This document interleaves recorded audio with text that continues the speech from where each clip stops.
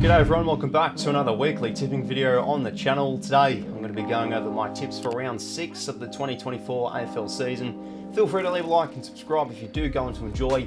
And let's start off with my tips from last week. Okay everyone, so my tips from round 5 and I managed to get myself a 5 out of 8 which Honestly, I'll take, given how many upsets there were last round. So a lot of people did hit some poor scores, but at least I was able to get one upset tip correct, and that was the Lions on Thursday night. Just felt bullish that they would really kickstart their season with a really big win, just given very talented side, and they came out and just completely battered Melbourne around the footy. And then with Friday, thought the Doggies would get this one done, uh, but now they're under the microscope um, of how they're going as a club. As Essendon just wanted that game more, their pressure and their midfield work just outdid the Bulldogs. Uh, then for the Saturday games, tipped the Giants over the Saints, but oof. Just got that one correct as St Kilda kicked, I think, the last six goals of the game. Almost came back and did the impossible.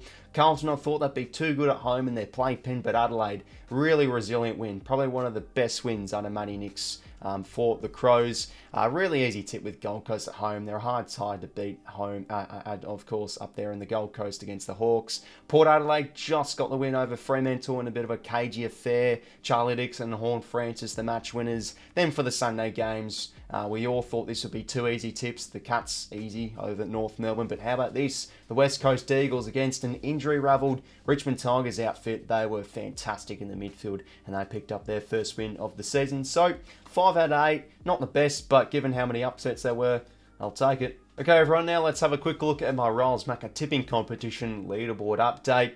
As I said before, given how hard the round was for tipping, nobody in the comp did get 8 out of 8, but we did get two people of the OG Asaya and Jezza 575 that did get 7 out of 8 as the highest in the comp. And as for who is leading the competition at the moment, it is Magpies FX with a total score of 57. Okay, everyone, now let's kick on with our tips for round six. It's a round full of 50 50 matchups, and we start with a 50 50 matchup right here Thursday night footy. The Saints hosting the Bulldogs at Marvel Stadium. When looking at this matchup, I just look at it as the strong structure of the Saints versus the talent of the Western Bulldogs. Which side does get up? Uh, but at the moment, the Bulldogs are definitely under the pump after their poor showing against the Dons. We saw again from Luke Beveridge some questionable selection calls with Bailey Dale as a sub, not uh, playing Caleb Daniel, and again, just the, the bottom six of that best 22 for the Bulldogs was just no good. And even their stars, you know, Bontempelli had his worst game in quite some time. He was well negated.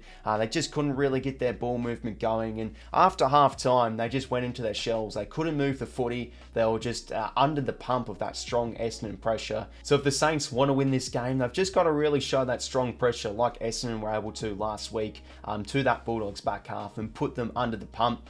Um, and also, you really want to try and negate the likes of Aaron Naughton, Weightman's, and Ugle-Hagan's marking inside 50. So the likes of Callum Wilkie and Josh Battle, who I felt have had really good starts to the season for the Saints, if they're able to bring those um, marking contests, bring the footy to ground, and try and get that contested marking game out of the Bulldogs, they're a good chance to win here. Um, but when you look at the Saints, though, they've been very inconsistent with how they've gone. Um, they've been able to play for a quarter some terrible footy where they can't move the ball at all. Um, they just turn it over with a lot of sloppy errors and um, also trying to be too cute when moving it with hand passing it too much. But then for a phase of a game like against Richmond um, and also like against the Giants, they'll just come out with this free flowing ball movement and just look unstoppable. So they're also a hard team to gauge, the Saints. So, yeah, it's a really 50 50 one, I feel, because when we see the best of both sides, if the Bulldogs could get on top of that midfield battle and with that high octane forward line knock over and dismantle the Saints' defence, they could easily win this one. So, it's a hard one to go with, but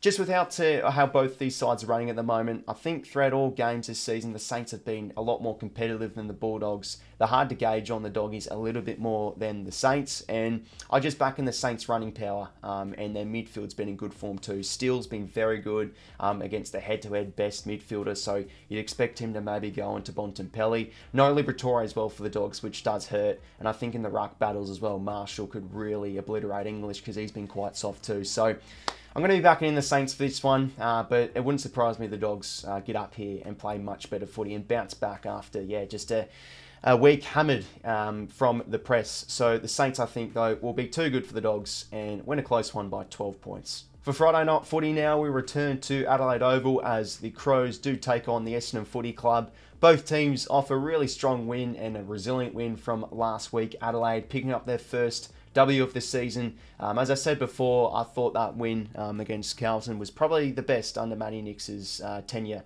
at the Crows. Uh, they were down as much as 16 points. We all thought it was all game over, but they just came back so strong. Uh, Matty Crouch in their midfield was massive in the last few moments. Sam Berry, the sub hero, to get the win.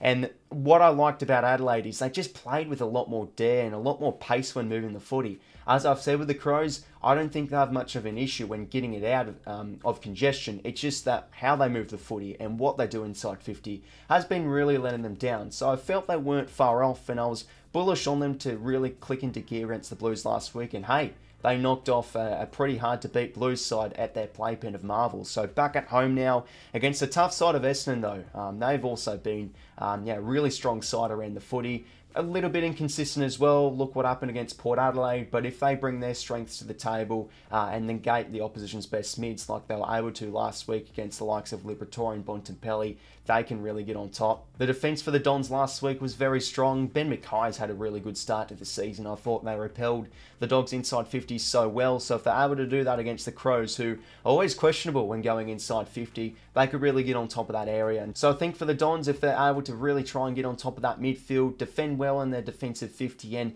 just show that elite pressure like they did against the Dogs, show a bit of that edge. Really see them getting on top here. They usually sometimes do play Adelaide over well, uh, but it's hard to see that at the moment after their poor outing against Port Adelaide. But that's probably a bit of an outlier, uh, that performance. I think now you've got to treat them as a bit more of a serious side. Uh, but I just look at Adelaide they'll gain confidence off the back of that win. The midfield mix was much better for the Crows last week too. Rankine was their highest CBA player, um, and also Rachele Rachele's thrown in there a little bit too, and Soligo now playing more as that inside midfielder. They're without Crouch though, who's been really good in extracting the footy, but I think the Crows um, just at home, and um, I think with that home crowd, and off the back of a win, they'll get on top and knock off the Dons here. But I still like Essendon though. If they can bring their heat, um, they could really get on top. And their forward half's been in good form too. Uh, you know the package has been great, and Harry Jones has been good as that hard-working high half forward. Uh, but I expect Adelaide though to get the win over Essendon just because of that home field advantage. So the Crows to knock off the Dons here, and maybe a game that contains a lot of lead changes. Uh, this one could be close, but then Adelaide I think will run away with it and win by 15 points. For the Saturday games now, a lot of 50-50s here, and we start off with the Pies hosting Port Adelaide at the MCG. The Pies haven't been too crash hot to kick off their season, but deservedly are the favourites, given that the last two, um, the last time these sides played at this venue, the Pies smacked Port Adelaide by 71 points. So yeah, it, it's hard to really predict this game because we could either see Port Adelaide get absolutely thumped uh, by Collingwood, who are a team you still want to respect, though. The premiers from last year, they do play their best footy at the MCG, or Port Adelaide, given they're in really good form, they could come out and, um, you know, beat Collingwood convincingly because the Pies, you know, they started off their own four campaign with not looking great defensively. The intensity around the footy was pretty questionable.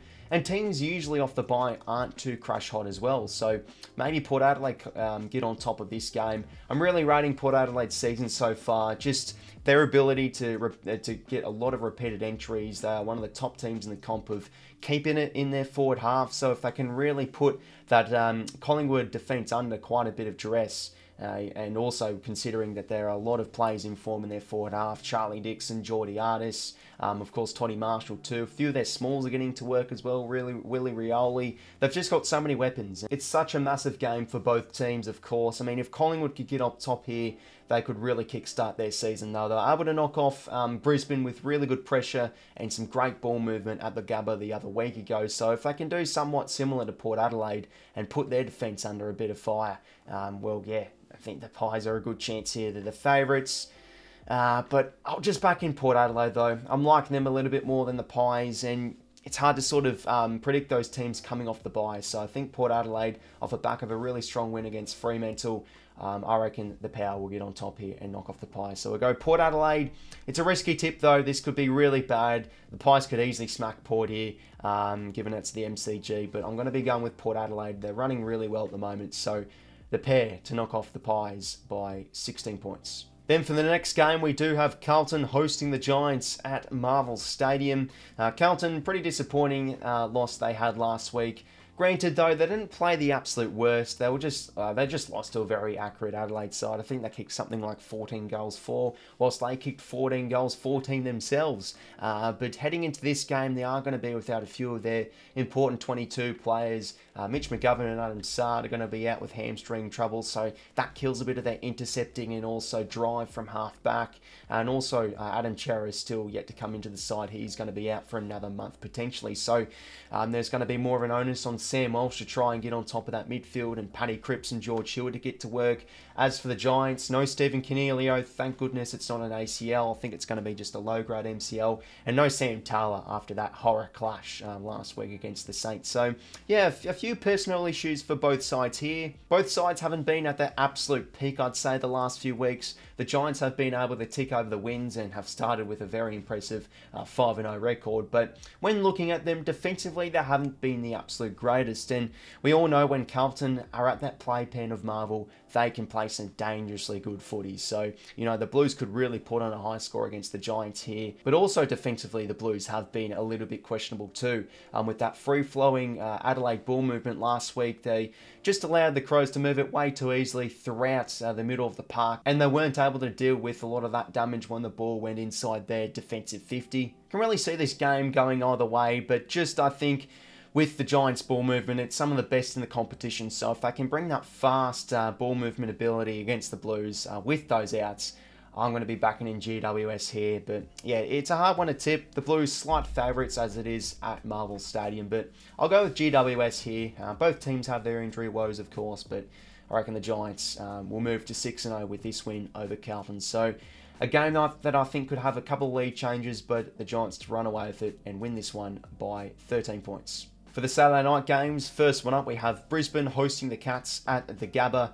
Geelong, alongside GWS, one of the few remaining undefeated teams in the competition. And yes, a lot of people will say, ah, oh, look at the opponents they've played, yada, yada, yada, which I guess is a reasonable thought, but you can only beat what's in front of you. And Geelong have looked fantastic as a team that just uh, so strong as a collective unit. You know, the cohesion and chemistry when moving the footy inside 50 is class. Yes, their midfield probably probably in the long term uh, could be an issue for them, but they're just getting it done um, in their forward half and also defensively. Uh, behind the footy, they set up so well, and that's going to be important against Brisbane, who love to move the footy really well um, at the Gabba. They're a strong side off clearance and off turnover, usually, um, but what we were able to see last week against Melbourne was great um, from a Brisbane Lions perspective. They brought that elite pressure. I mean, the pressure index, I'm pretty sure, was over 200. So if you're winning that pressure index number or figure whatever it is, usually are winning the game. Uh, and they just completely shell shocked Melbourne.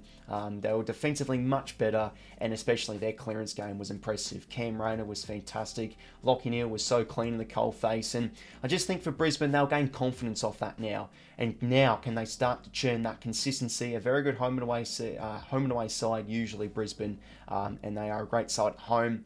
I expect them to play um, now much better footy after that win over Melbourne. So I like them for the tip here. But usually, let's remember the Cats, they're not an easy side to ride off with the tipping. Uh, Dangerfield, I'm pretty sure, is going to be coming back into the lineup alongside Tom Hawkins. So that really strengthens their side. It's a game of efficiency for me, the Cats. If they can really pick apart their targets inside 50. You know, Brian Myers and Tyson Stengle, uh, Brad Close as well. So many contributing factors on how they put points on the board. I think they really could get on top here uh, against the Lions. But with this game being at home, I know they haven't played the best at the Gabba Brisbane, but just off the back of that really impressive win against Melbourne, I think they'll give them, give them confidence on their ability to play much better footy. So I think the Lions will send the Cats home with their first loss of the season. Brisbane get on top here, and again, that could be going back and forth. The Lions pick up a close win by nine points. Then the other Saturday night game, we have the Eagles hosting the Dockers at Optus Stadium,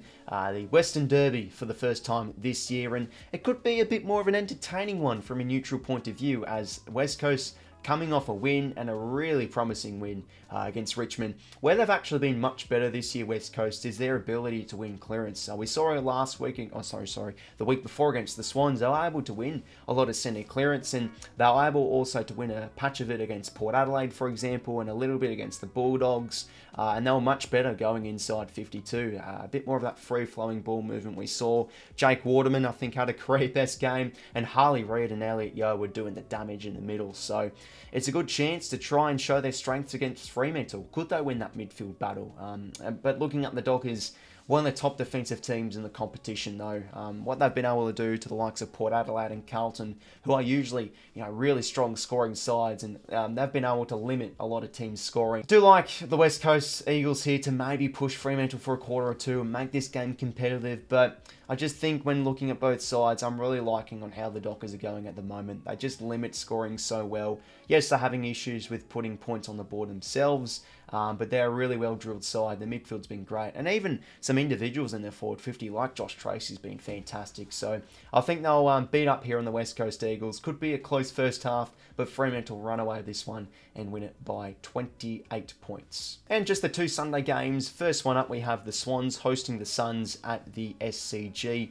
Sydney coming off the bye, and their previous two matches haven't been the absolute best. Uh, they got beaten by a, a, side that just won it more uh, against the Richmond Tigers, and also um, copped a bit of a scare in that first half against the West Coast Eagles. So I guess the weaknesses for the Swans is if an opposition puts a lot of pressure um, on on the Swans they struggle to move the footy. So if you can take away Sydney's ball movement and really uh, guard the corridor, they are a beatable side, Sydney. And this is where a side of the Gold Coast Suns could really try and nullify the Swans' strengths.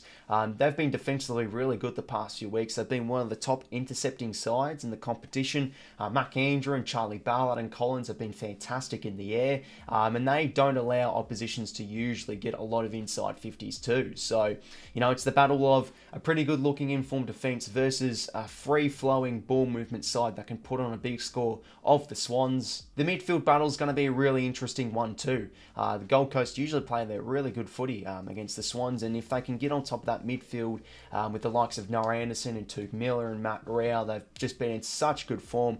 They could honestly pinch this one, the Suns. Uh, they've been able to do it before in the past. They play really good footy here at the SCG. Um, it is hard to go against the Swans usually, though. They've been one of the top scoring sides in the competition and are a side ranked high up there for you know score launches and also inside 50s. So if they can really try, if they could really control, sorry, um, you know that territory battle, I expect the Swans to get it done here. But off the bye, the Swans aren't too crash hot, and as I always say as a Swan supporter, I am as optimistic as I am pessimistic. And given that Gold Coast can be our bunny sometimes, I'm liking the way the Suns are going at the moment. Their midfield's looking great. I think defensively they're really sound too, and they've got just damaging um, targets forward of centre.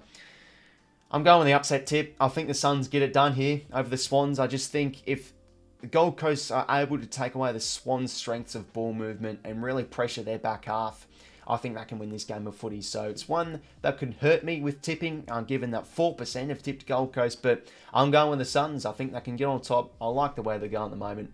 Gold Coast to win this one. A bit of a cagey affair, but they'll win it in the end, I reckon, by 10 points. Which leaves one of the games of the century on your Sunday twilight North Melbourne versus Hawthorn what a comedian I am. I'll shut up now. Uh, but geez, I mean, looking at this matchup, it's um, not shaping up to be the greatest quality game of football you think. Uh, both teams sitting at 18th and 17th and both teams are yet to pick up their first win of the season. So could we see a draw perhaps? I highly doubt it though. Uh, but yeah, a lot of issues for both sides. Uh, North Melbourne, yes, their North Bell ball has been there probably only positive highlight alongside a few of the young stars having bright starts to the season like Harry Sheezel and you know Cherry's been battling hard too uh, but just defensively they are a, an absolute mess at the moment they're just a team that gets killed off turnover and that's also the same for the Hawks too uh, defensively they haven't been at their absolute peak too uh, Sicily's not been um, playing his absolute best football. Um, their leaders aren't really helping out those young players out there at the moment,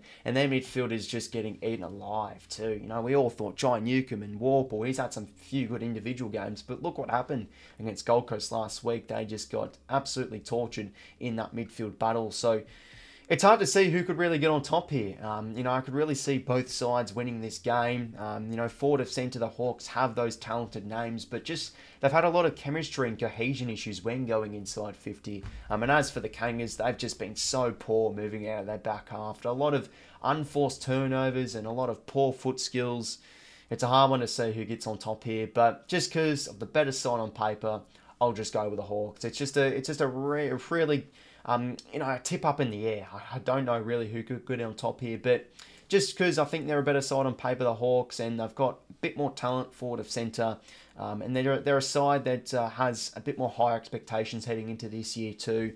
I'll go with the Hawks. Um, you know, both sides are talented and the good will come eventually. And looking at Hawks last year, they started off the season very poorly and they were able to get their first win, I'm pretty sure, against the Kangas. So I think the same will happen against North Melbourne here and the Hawks to win this one by could be a couple of lead changes, could be close, but I reckon Hawthorn run away with it and win by 22 points. So overall, they were my tips for round six of the 2024 AFL season. Just the eight games again this week, uh, with Melbourne and Richmond having the bye. Um, let me know what your tips are down below in the comments, as I love to hear your people's opinions. A lot of 50-50 games as well, so hopefully I can go well in the tipping this week. Thanks very much for watching, and until next time, I will talk to you later. See you later, fellas.